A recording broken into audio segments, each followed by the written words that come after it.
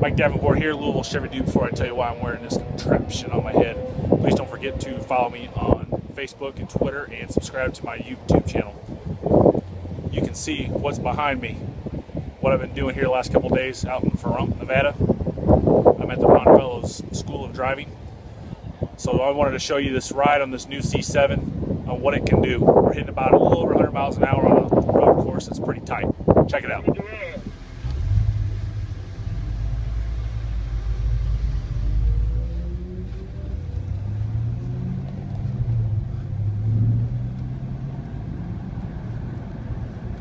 Second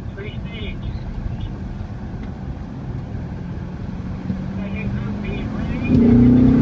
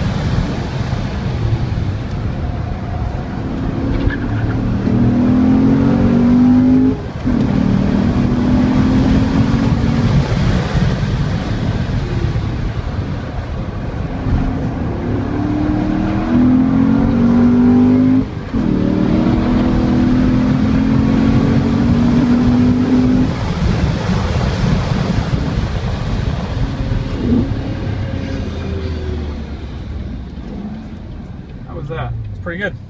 That's how I wanted to drive.